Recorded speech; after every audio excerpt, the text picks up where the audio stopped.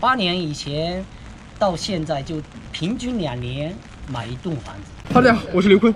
今天不是每日餐，我今今天是做一些就是关于咱们中国的同胞在日本啊，通过自己的努力做成的一些事儿的一个采访嘛。所以最近认识了很多就是大哥大姐们，然后就是让大哥大姐们聊聊他们的故事，让大家听一下，有有可能对大家有帮助。大哥刚买的地啊，在这儿在收拾呢。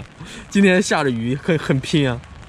大家好，不不是福清话吗？是吗？对对对对对，要说福清话是吧？对对对对。你你说吧。大家好，那个大家好，那我我叫那个维内叫。我错噶老乡吧，啊错错噶福建政府抢起等眼呢。嗯。今年冇事嘅嗰度，年年半年二年，到一九九五年里，嗯，就边上学边打工吧，就是初一年开始那个洗杯。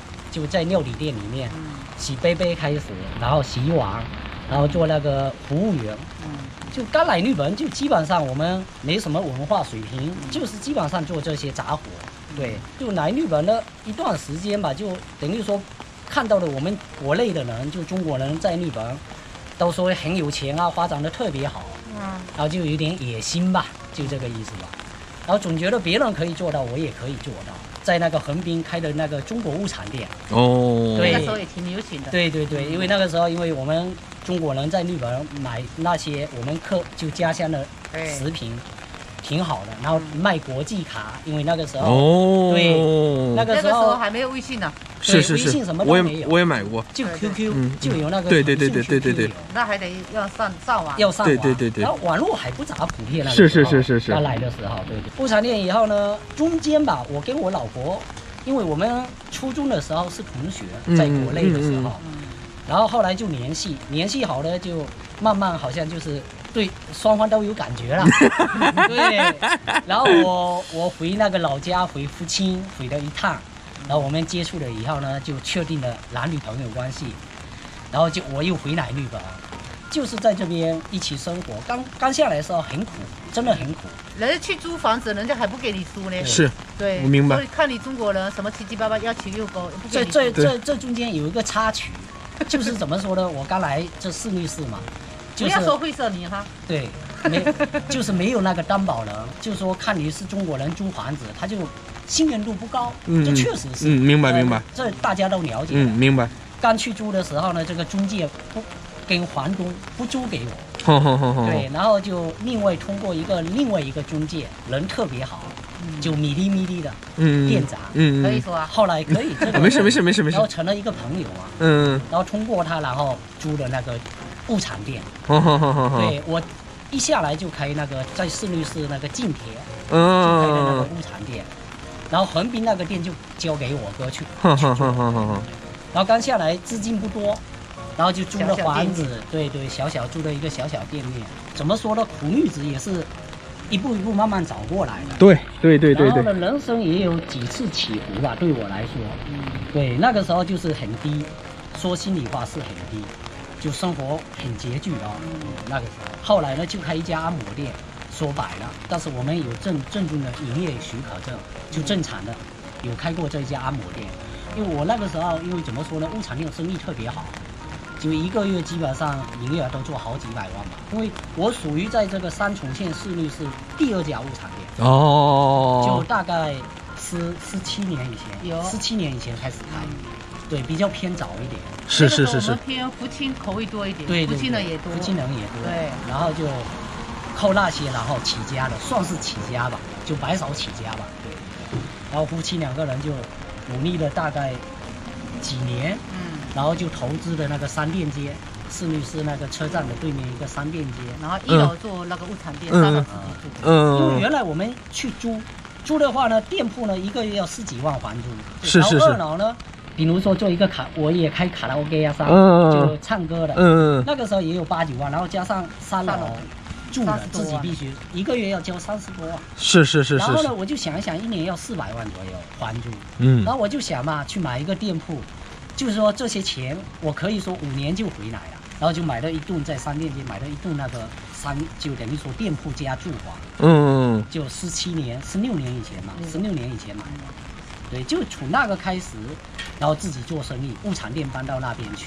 四七年开以前开始投资，中间隔了八年没投，嗯嗯，因为那个时候呢，我就走下坡。嗯，我们自己也申请了知识会社，嗯也申请了会啊、就是公司，但是那个可能时候那个时候我很年轻，才二十四岁赚了一左右啊，点钱嘛。很高很自大，嗯呃什么都想做。我开过中华料理店，还有那个菜市场，嗯。然后中国贸易，嗯。然后就以公司的名义都开过，然后那个时候呢，就一下子 KSI 就经济不好了，然后就下降了，下降我把公司关了，嗯，然后去打工。我其实打工呢，差不多十年哈。差不多打到现在打到十年，我上班，但是同时呢，是我打工打了两年以后，然后呢，商店街那边一楼我出租出去，二楼也出租出去，然后这些有那个还租的收入以后。哦，啊然后再加上我去就职，嗯，我也去大公司就职，LDM 嗯哦，大公司，就属于大公司吧，就就职，全部就断断续续上班上了十年，但是真正的投资房产就是八年以前，八年以前到现在就平均两年买一栋房子，对，我觉得是你们一栋嘛哈，一套也有。哎，就另外一个是一套，嗯。其他是一栋，呃，大家大家大家要听听清楚啊，是一栋，栋，不要听错了，不是一一套或者一间，是一栋。对，然后就从今年的七月份开始吧，我就看上这块土地，就这块地。水量不大，水量不大，对对对。然后呢，就想自由一点嘛，说心里话，然后就是说人活着嘛，就要有一种目标，对，没目标的话，活着就是觉得没什么意义，光靠那些房产我就太闲了吧，明白，对，然后就就 这就是个大佬的心态啊。对对对，做这个东做这一块地土地呢，就是想做未来发展，就是说怎么说呢？我们国内说的烧废铁吧，然后废品废品，对对。对，然后呢做一些就是建筑行业的公示，对对对，就基本上是这样。的。对呀、那个林大哥、嫂子，你们俩再说一下，就是有可能有些朋友，有可能是想来日本，或者是刚来日本，就是就是以你们两个在日本这么多年的一些经验，你们就是给大家有没有一个好的意见或者什么？就打个比方说，来日本你要注意哪些情况，或者是做哪个东西比较好？以我个人的感觉呢，来日本必须得把日语学好，对未来的基础嘛，得打好基础。然后想未来发展的话，得看你自己个人的兴趣。我觉得在日本，只要你付出一定的努力，肯定是有回报的，肯吃苦就可以。嗯，爸爸你觉得呢？对，我觉得呢，就是我现在有点后悔啊。后悔？啊，后悔。对我国语讲的不好啊，没事没事，已经很完美了。就基本上对我来说，是我这个一个基础没打好。嗯，为什么这么说呢？因为想在日本立足，就基本上呢，你呢日语水平要真的要跟日本人可以沟通交通交通得了。沟通得了。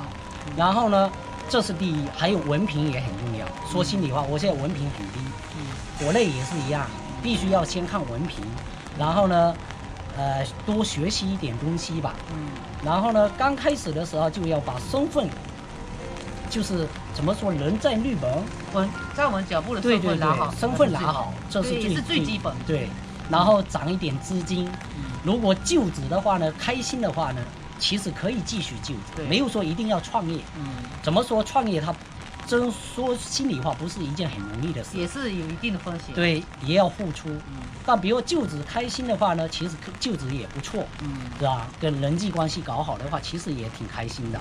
嗯然后呢，创业的话也行，但是必须要吃苦，这绝对要。